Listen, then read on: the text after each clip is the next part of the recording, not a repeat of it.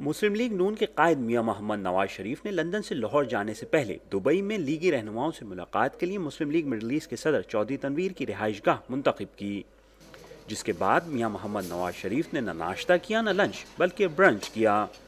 Asghar Khan case याद दिलाया तो जवाब आया। अगर सुप्रीम कोर्ट ने बुलाया असगर खान केस में तो आप जाएँगे?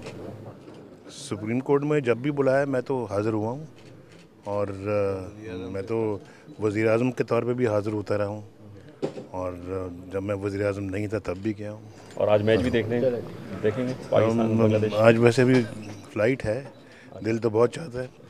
और अभी जब तीन दिन पहले लंदन में मैं अपने मुस्लिम लीग के साथियों से बात कर रहा था तो वहाँ पे भी दो दफ़ा अपनी प्रेस कॉन्फ्रेंस को रोककर मैंने स्कोर पूछा था। उन्होंने कहा कि पाकिस्तान अब किसी माशा का मुतहमल नहीं हो सकता।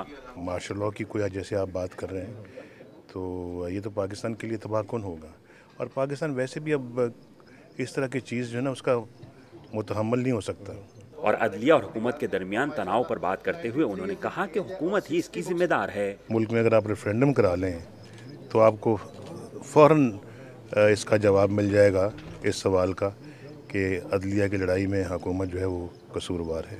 मियाँ मोहम्मद नवाज़ शरीफ ने अफसोस भरे लहजे में कहा कि मुल्क में 80 और 90 की दिहाई की सियासत अब भी जारी है। ये अभी भी हम 80 90 की दहाई में रह रहे हैं।